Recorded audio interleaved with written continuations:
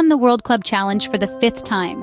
The answer is the Wigan Warriors, who triumphed over the Australian champions, the Penrith Panthers, at the DW Stadium. This victory was no easy feat, with the match being a heart-stopping roller coaster from start to finish. The Warriors drew first blood with Abbas Miski and Kruise Leeming, but the Panthers responded in kind through Nathan Cleary and Dylan Edwards. The score at halftime favored the Panthers by a slim margin of 12 to 10. After the break, two crucial decisions by referee Liam Moore shifted the game to Wigan's favor. He ruled that Jake Wardle had scored a try, and then controversially denied Taylan May's last-ditch effort. These calls were met with a wave of disappointment from the Panthers, who, despite dominating the Australian game for three seasons, have now lost all four of their attempts to conquer the world stage. The game began with an error from Willie Isa, but Wigan quickly recovered. A spectacular opening try came from a long pass by Bevan French to Miski, who dashed over the line to score.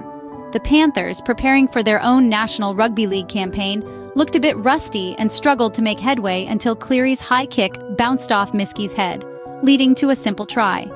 Wigan responded with an impressive team move, resulting in Leeming crossing the line.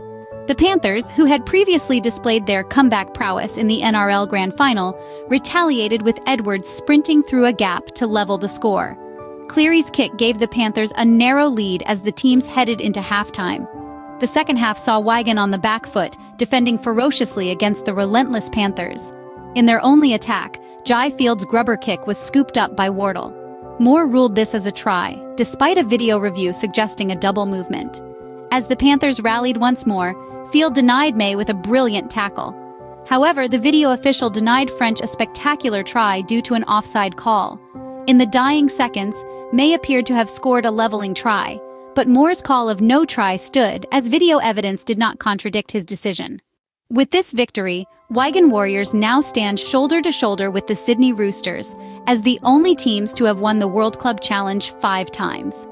The significance of this match lies in the fact that it was a testament to the tenacity and never-give-up attitude of the Wigan Warriors. As their coach Matt Peet so eloquently put it, this was a game won by never giving in. Every player on that field poured their heart and soul into the game, and it is this resilience that ultimately led to their historic victory. This match will go down as one of the most thrilling and memorable in the history of the World Club Challenge. The Wigan Warriors have proven once again that they are a force to be reckoned with, standing tall in the face of adversity and emerging victorious. Jump.